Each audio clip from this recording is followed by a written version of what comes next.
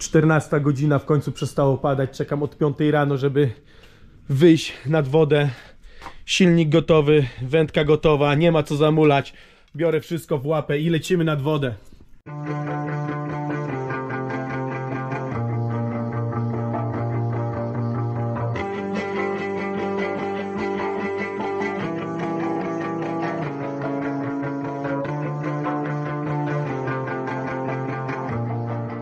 Siemano wszystkim, jak już mówiłem, czekałem, czekałem, aż tu w końcu się doczekałem. Przestało padać i ja już jestem nad wodą. Zatrzymałem się tutaj, ponieważ tutaj mam e, stare, niewyrównane porachunki z dwoma szczupakami, które mają powyżej metrówki na 100%. Dwa czy trzy razy mi, trzy, dwa razy, dwa razy mi wyszły w tamtym roku, czy w tym roku to było, ale nie udało się ich złapać, tak więc w tym momencie i w tej chwili na pierwszym przystanku będę próbował załatwić moje niewyjaśnione porachunki.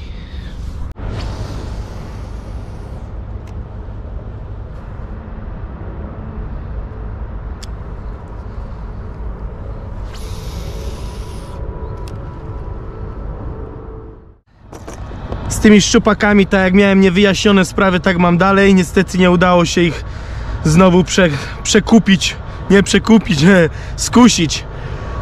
Lecę dalej, dalej trolling, zakładam e, Westina i próbujemy dalej. Hehe, mamy pierwszego szczupaczka. Ale skok zrobił, widzieliście?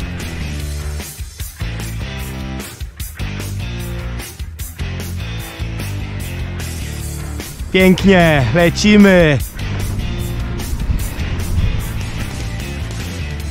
Ale połknął całą gumę, nie wiem czy widzicie. Nie wiem jak kamera, czy jest dobrze ustawiona, ale... O! Patrzcie jak połknął całą gumę Westina.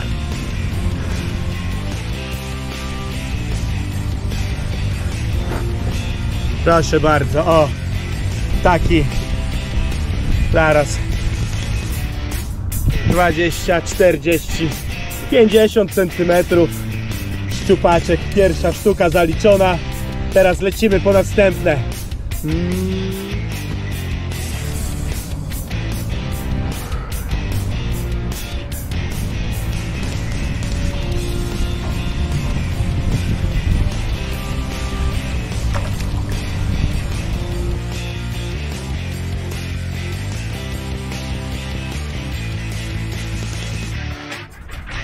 Po godzinie wędkowania pierwsza sztuka padła, nie za duża, ale to zawsze coś. Jest 15.40, jeszcze z dwie godziny dobre przede mną. Tak więc mam, mam, mam dobrą nadzieję, że padnie jeszcze dzisiaj jakaś piękna metróweczka. E, szczupaczka złapałem na tą gumę Westina. Trolling, daleko miałem od siebie, główkę mam 10 gram. I to wszystko, co trzeba było, żeby złapać tego pięknego szczupaczka. Nie ma co przedłużać, lecimy dalej. Dobra, robimy następny przystaneczek, bo tutaj mamy piękne pasmo trzcin, że tak powiem, całą o kantę, tak jak widzicie, cały brzeg i o aż tam wszędzie są trzciny. Tamtą stronę zrobimy z trollingu, zrobię, a tutaj chwileczkę postoję, porzucam, ponieważ tutaj zawsze mi się podoba i wiem, że tu stoi jakaś duża mamuśka, która czeka na mojego gumisia.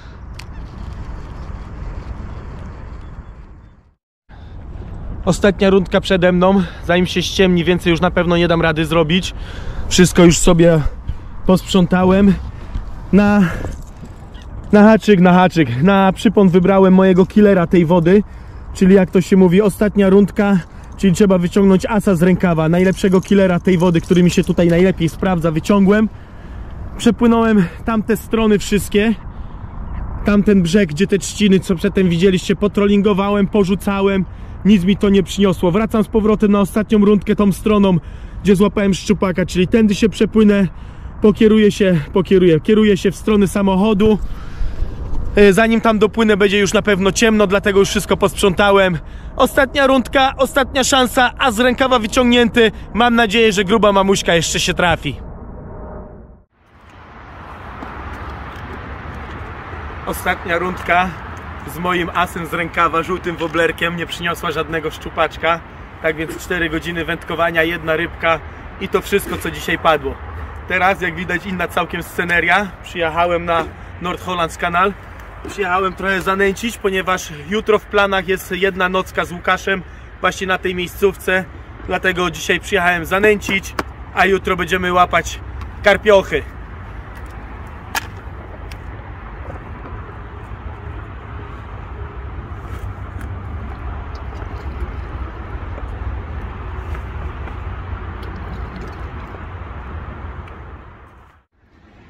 No i dobra, mamy kolejny dzionek, wczoraj ponęcone.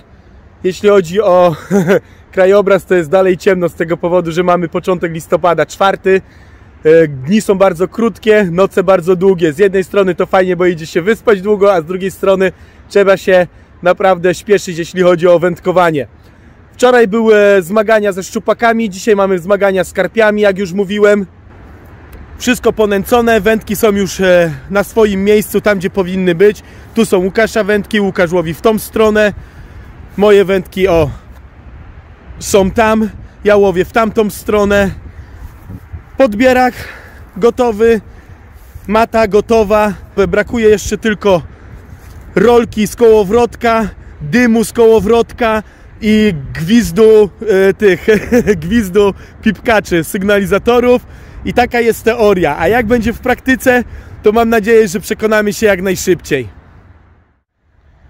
Ósma rano w końcu jasno się zrobiło, ale to nie jest powodem naszej pobudki, bo naszą pobudką, nie, mo, nie naszą, w sumie moją pobudką, bo Łukasza się nic nie, nic nie ruszyło.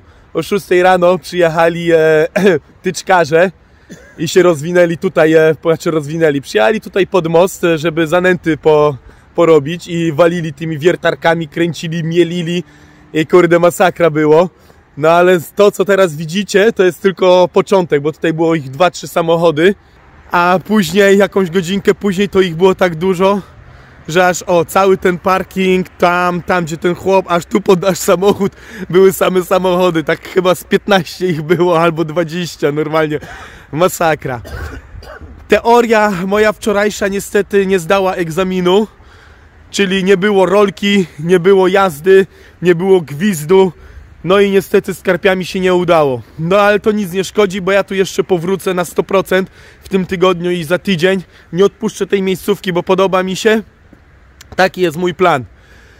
A nie, no jeszcze w sumie leszcza złapałem w nocy i tam parę brań leszczowych było, no ale poza tymi leszczami to nic takiego, tak więc o tym to nawet nie ma co mówić.